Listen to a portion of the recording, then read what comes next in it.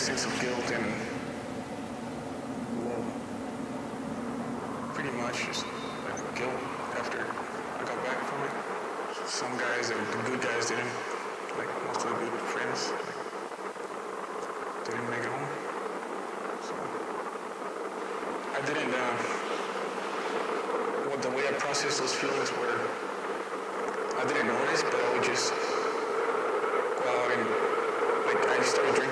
being in here all the time. And I just didn't do anything about it. I was just, I didn't think it was an issue because most of us just dealt with it. Like everybody else in my unit